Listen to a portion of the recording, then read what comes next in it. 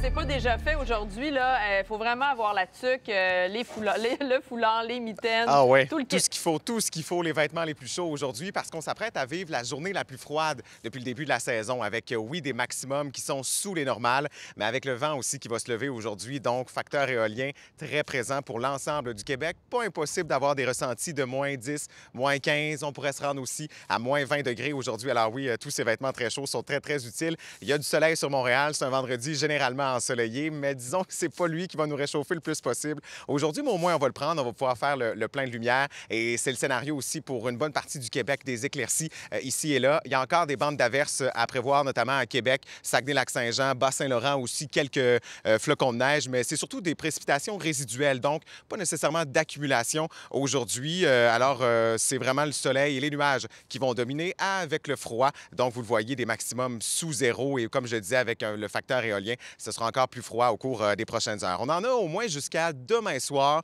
pour avoir du temps froid euh, comme ça. Le soleil sera avec nous aussi pour Montréal pour commencer la fin de semaine. Mais avec la journée de demain, on va commencer à gagner des degrés tranquillement, mais sûrement maximum de plus de zéro pour euh, demain et samedi. Mais vraiment, le retour au normal est prévu pour dimanche avec l'arrivée, oui, d'un système dépressionnaire qui va donner de, faibles précipitations, soit de pluie, soit de neige, selon où vous êtes au Québec. Sur Montréal, quelques gouttes de pluie pour terminer la fin de semaine, mais davantage lundi. Et devant ce système dépressionnaire, c'est un front d'air doux. Alors, c'est ça qui va nous donner un peu de douceur pour terminer le week-end. C'est le même scénario pour euh, Québec aussi. Demain, encore un peu froid. Il y aura du soleil, heureusement, mais on gagne des degrés. On retrouve les normales de saison dimanche et lundi, mais ça va se faire avec un peu de précipitation euh, qui, euh, qui soit tomberont, soit en pluie, soit en neige, selon les secteurs. Mais au moins, tout le Québec va pouvoir profiter d'un peu de soleil pour commencer la fin de semaine et pour euh, terminer la semaine aussi, mais avec du temps un peu plus froid. Alors oui, il faut, faut s'habiller très chaudement. Un bon café ce matin pour nous réchauffer, puis ça fait l'affaire. Merci, Félix. Salut.